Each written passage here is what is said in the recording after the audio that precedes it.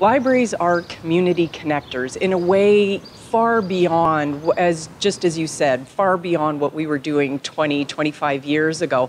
And for people that haven't been in lately to visit a branch of the library, we invite you to come in and see all the exciting new things that are going on. We have more than 6,000 people walk through our doors every day at the seven branches across Brampton, and each one of them has something different reflective for their neighborhood or their community.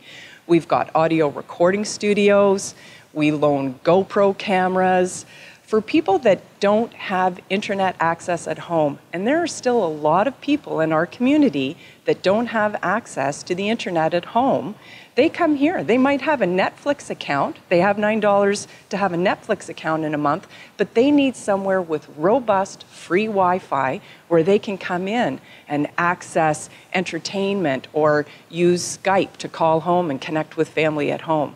It's amazing, really, from we say cradle to grave. We've got something for everyone in the community.